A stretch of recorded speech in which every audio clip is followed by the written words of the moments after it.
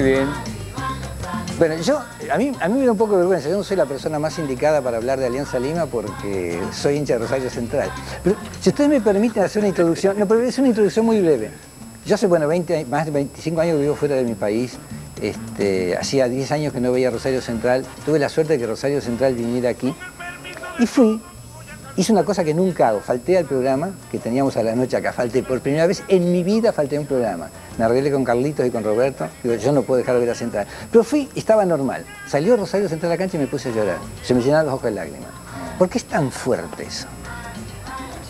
Ahora, Alonso, yo creo que acá falta una persona. Me gustaría que tú la falta obviamente Carlos Bejarano, que no sé dónde se Carlito, más aliancista de Es que Carlitos tiene que bajar porque... No, hay silla. ¿eh? Sí, hay una silla para Carlitos. Lo que pasa es que hay que traer una silla chiquita. No, es que quiero que venga porque sabe muchísimo más de Alianza. No, para... Su es pequeño. ¿Eh? ¿No quiere bajar? Sí.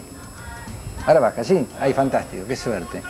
Conocí a un amigo que, claro, pueden ser este, explicaciones... Eh, posteriores, pero me dijo que la razón por la que había vuelto al Perú desde Londres era por, la alianza. Es decir, este, las cosas que más lo llamaba que era ir, a la, tribuna, gritar, Me dijo que la razón fundamental por la que iba a los estadios no era para ver jugar fútbol, sino para gritar. Gritar es lo más importante en su vida. Uno no tiene ocasiones de gritar, ¿no? Uno hace cosas por el fútbol, a uno lo gritan. ¿A ustedes se acuerdan cómo se hicieron aliancistas? ¿Cuál es el momento en que uno ¿Tiene la impronta con los colores de su club? Yo en, mi caso no me acuerdo exactamente. Eh, muy bien, era, era muy niño y escuchaba los partidos por la radio. Habían dos radios que competían, no sé, bueno, era eh, Radio El Sol en su momento con Pocho Rospilosi y Radio Unión, mm. pregón deportivo con, Oscar Artacho. Oscar Artacho. Y escuchaba los partidos por, la radio todavía. En mi familia a nadie le, le gustaba el fútbol, ¿no? Y ahí los del barrio. Y en esa época eh, me hice hincha de la alianza con el equipo del 62-63 que fue bicampeón, pero nunca lo vi. El primer equipo que vi fue el 65. El equipo campeón del 65 estaba Bazán, Lara, Guzmán, eh, Barreto, Perico, León, Perico Pitín, Grimaldo, Grimaldo, Juan de la Vega, ¿Ah? Grimaldo. Es un equipo bastante bueno. De los conoce a todos ellos. y recuerdo que en el barrio había muchos eh, hinchas de la U, al igual también de la Alianza, y jugábamos pelota ahí en el barrio, y los de la U eran mayores que nosotros, particularmente un par. Y ellos iban al estadio, éramos muy pequeños, ¿no? Mi padre era bibliotecario, trabajaba en el Colegio Guadalupe, tenía una gran biblioteca, y lo acompañaba los eh, fines de semana, días de vacaciones, y iba a la parte de documentación y comenzaba a leer los periódicos antiguos. ¿Tú? Claro, los periódicos del comercio, la prensa, la crónica, y de esa manera me conocí la historia de la alianza, ¿no? y las famosas hazañas. El momento que discutía con estos hinchas de la U mayores, yo las rebatía porque sabía la historia de la alianza y la historia de la U, ¿no? Pero la pasión evidentemente se hizo mayor cuando ya vi al equipo del 65, ¿no? Yo tenía 10 eh, años. Había ido una, vez anterior. No te estás quitando años, Fernando. Me he un montón de años, hombre. bueno, el fútbol me ha quitado. El fútbol y la alianza. Sí, y este, hace un rato decían, ¿por qué la pasión? No? Y por el fútbol cuando uno es hincha hace cosas, este, cosas increíbles. Estuve viviendo en Alemania haciendo un doctorado entre 90 y 95 y a mí me enviaban videos de los goles de la Alianza y todas las semanas mis hermanos me enviaban eh, los suplementos de, deportivos, absolutamente todos los lunes de los cinco años que estuve viviendo en, Europa. Alemania. Eh, estuve viviendo en Europa. Y los leías con fricción. Pero por supuesto esperaba siempre los las revistas y, los diarios. Por el fútbol se hacen muchas cosas. Que es una religión, ¿no? Es una, es una actitud religiosa de devoción. Lo que pasa es que a veces el Dios que uno adora es un desastre. ¿Y tú cómo te hiciste, Alonso? Bueno, mira, yo me hice por pura casualidad, a lo mejor como ustedes, porque yo tenía un vecino que era de la Alianza. Y, entonces este, a los siete años, cuando a ti te dicen que la Alianza es el mejor equipo del mundo, y que te insisten y vas a jugar al fútbol y además eran los años en que campeonaba efectivamente, este, 62, 61. Entonces tú, abrazas pues la religión, y eso es una cosa que, que... Que después ya uno racionaliza ¿no? y dice, claro, la alianza... Hay una cosa que me, que me gusta de la alianza que es, por lo menos en su historia, que es que es un equipo que es gratuito.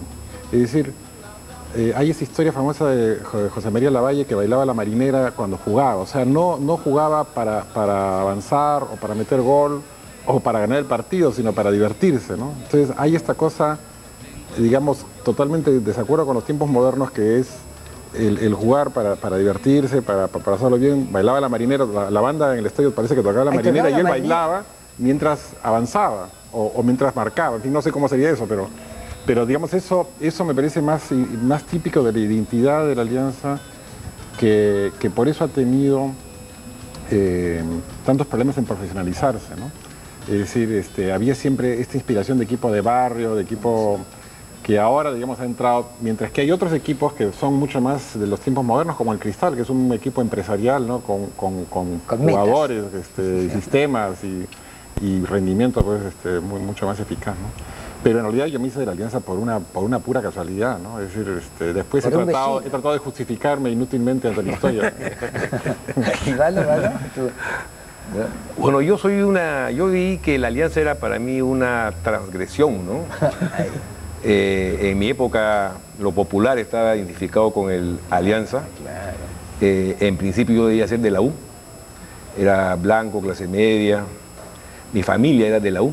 Mi tío Belisario Sánchez León era médico de la U. Hizo jugar al Muerto González.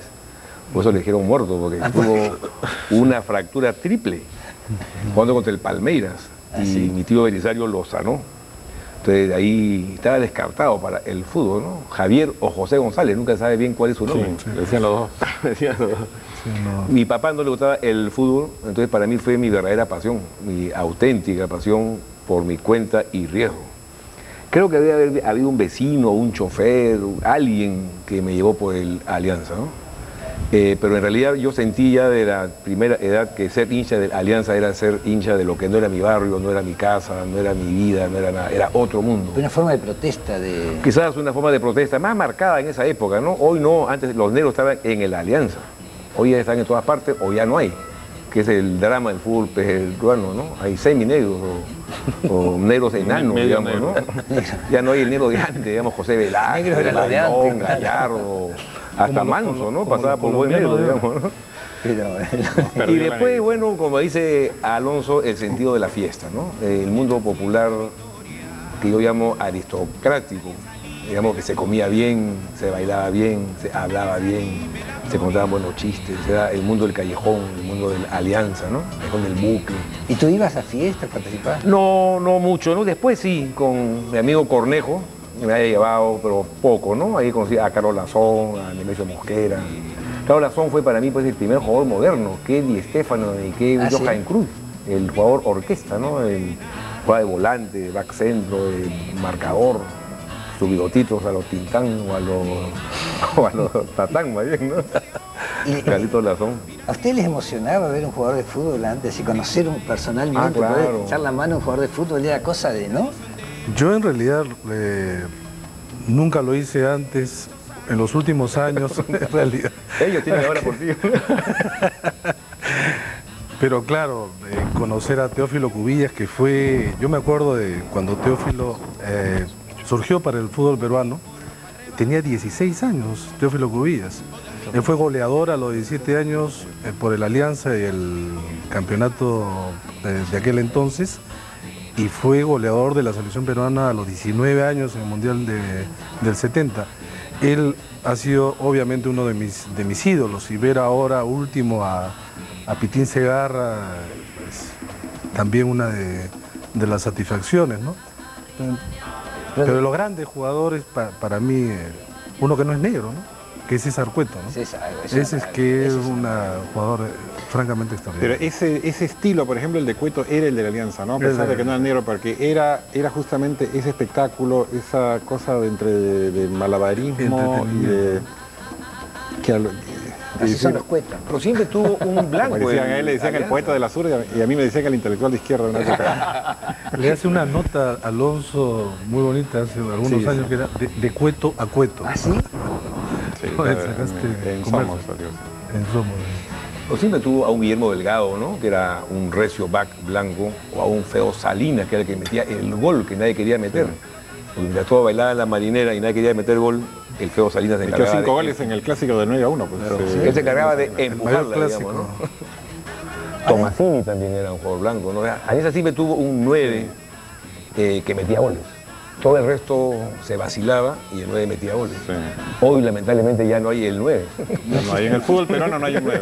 No hay un No hay 9. nueve, pues. El último 9 fue Franco Navarro, creo. No, sí hay 9. Pero no hay pues a la altura de Ah, Perico. no, de- no, a la altura no. pues. ¿Pero por qué no hay? Porque, ¿Qué es lo que pasa? ¿Por qué El no? 9 es un hombre fuerte, Fuerte, pero claro. no el tanque de Casma, el mismo Casareto fugía de 9 Perico y no lo León. hacía mal, Perico, Perico León. León. Perico León era- Después está Valeriano. La Rosa, Valeriano, claro. Navarro y Maestri, por decir algo, ¿no? O Claudio Pizarro. Claro, maestro. Siempre ha habido uno que es el fuerte, ¿no? Si no hay, no, no hay gol, ¿no? Ahora, el amor su- tiene que ver con que juegue bien el equipo, aparte de ese. Porque uno, el amor, por más que el equipo no juegue bien, el amor persiste, ¿no? No es que uno disminuye el amor. Pero hay gente que ha abandonado al Sí. Muni, por ejemplo. En, en el caso de la Alianza, eh, justamente esto, ¿no? La Alianza no campeona 18 años y tiene una hinchada que se mantiene, Eso es. no disminuye, y cuando campeona en el año 97, bueno, algunos que no iban se- seguidamente al estadio, eh, abrazan y, y festejan como si fuera ayer, ¿no?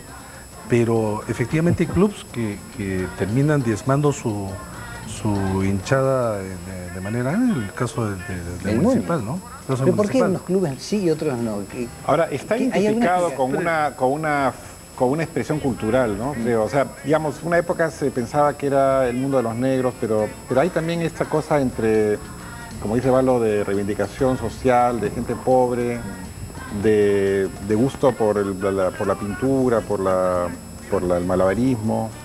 ¿No? Este, la tradición, ¿no? Hay, hay, hay una serie de elementos que rodean a la alianza que, que- que crean un calor este, que, que no tendría un equipo nuevo, digamos, este, No, un equipo es nuevo es imposible. Bueno, no se puede improvisar un equipo argentino, saca el Deportivo Español, Mm. que lo inventaron y no, no funcionó. No ese funcionó. nombre también, ese- Y en Argentina.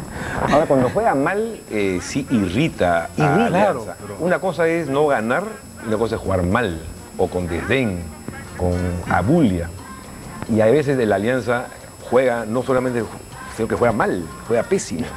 Eso sí te saca de quicio, te, te desespera que no haya, y tú los has visto, un volante como Velázquez que pone la pata y empuja al equipo. Y lo extrañas a morir, ¿no? Cuando ves a estos enanos que juegan fútbol ahora, los extrañas, pues, ¿no? O esa corrida de bailón, me acuerdo yo, ¿no? Marzolini temblaba, la tierra temblaba, Visconti, todos temblaban, y en mí este, ese elefante maravilloso que era bailón, ¿no?